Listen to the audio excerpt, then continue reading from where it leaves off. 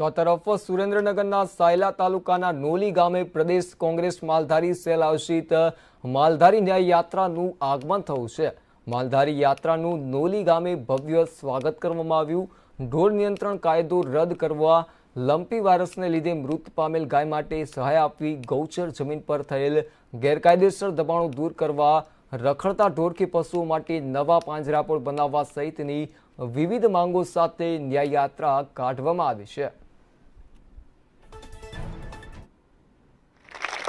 ગુજરાતમાં અત્યારે લૂંટબૂટ અને સૂટબૂટ અને લૂંટ કરતી સરકાર છે. ખાસ કરીને ભારતીય જનતા પાર્ટીની સરકાર એટલે ગાયનું પૂંછડું પકડીને ગાંધીનગરની ગાદીએ બેસી ગઈ.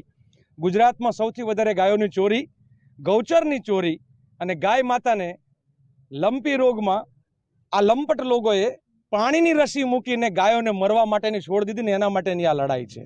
ગુજરાત પ્રદેશ કોંગ્રેસ માલધારી સેલ આયોજિત માલધારી ન્યાય યાત્રા કાલ રોજ દેવભૂમિ દ્વારકાથી ભગવાન શ્રી કૃષ્ણના જન્મોત્સવ કરી અને કાલે સવારે દ્વારકાની પવિત્ર ભૂમિથી નીકળી અને ત્યાંના વિવિધ જિલ્લાઓમાં ફરી અને આજ રોજ પાંચાલની ધરતી ઉપર પ્રવેશ કરી અને આજ નોલી મુકામે પહોંચી છે ત્યારે ગુજરાતમાં ભારતીય જનતા પાર્ટીની સરકારની અંદર માલધારી સમાજને ટાર્ગેટ કરી જે રીતે દરેક સમાજ આમ કે નાનો મોટો દરેક વર્ગ જ્યારે દુઃખી છે ત્યારે હું ચોક્કસપણે એવું કહું માલધારી સમાજના દરેક જે પ્રશ્નો હોય કે ભાજપ સરકારની નીતિ રીતિ જે છે એ પશુપાલન માટેનો કાયદો જે છે એની વાત કરીએ આપણે કે અમારે ગીરબડા આલેજની વાત હોય અને હાલનો જે મોટા મોટો પ્રશ્ન જે લંપી જે થયો છે એ લંપીની અંદર પણ જે છે અમારી માંગ હોવા છતાં પણ આ સરકારે વેક્સિનેશનના ડોઝ પણ પૂરા કર્યા નથી. સાથે સાથે અમારી માંગ એવી હતી કે પચાસ હજારની જે છે માંગણી એ માંગ પણ પૂરી કરી નથી.